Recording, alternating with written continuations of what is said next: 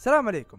في بعض الألعاب تقدر تلعب لعبة ثانية في نفس اللعبة في هذه الحلقة بنذكر لكم خمس ألعاب في وسط العاب ولكن الألعاب اللي بنذكرها ألعاب كانت موجودة وعلى اجهزه قديمة والألعاب ال mini games ما راح نذكرها في هذه الحلقة.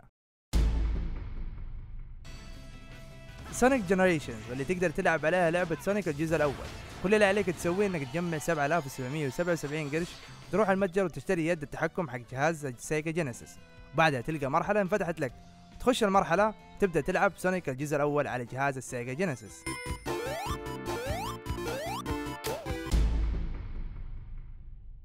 في لعبة Call of Duty Black Ops 2 تقدر تلعب أغلب ألعاب Activision اللي نزلت على جهاز الأتاري.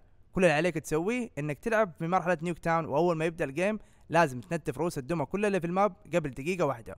وبعد كذا تروح على شاشة كبيرة وتلقى ألعاب Activision اللي على اتاري اشتغلت على شاشة كبيرة ويمديك تلعبها كلها.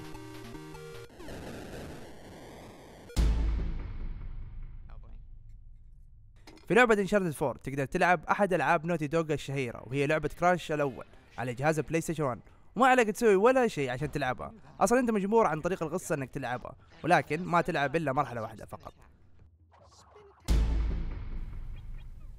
في لعبة Animal Crossing على جهاز ال GameCube تقدر تلعب أغلب ألعاب العائلة ومن أشهر الألعاب اللي تقدر تلعبها هي Mario و Zelda ولعبة الدبابات وأيضا لعبة Donkey Kong وعشان تلعب الألعاب القديمة لازم تلقاها. بعضها تلقاها مدفونة في اللعبة وبعضها تشتريها وبعضها تلقاها في بعض الجزر.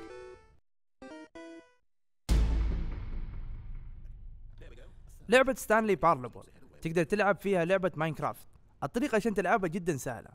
في اللعبة في واحد معلق يقول لك وش تسوي. بس إذا جلست عنده مثلا قال لك روح يمين وأنت رحت يسار أو قال لك لا تضغط الزر ذا وأنت ضغطته يبدأ يعصب عليك معلق بعدين في النهاية يقول لك تعرف في لعبة تناسبك ويشغل لك لعبة Minecraft يقول لك يلا روح اصطفل. تراني من جد طفشت منك.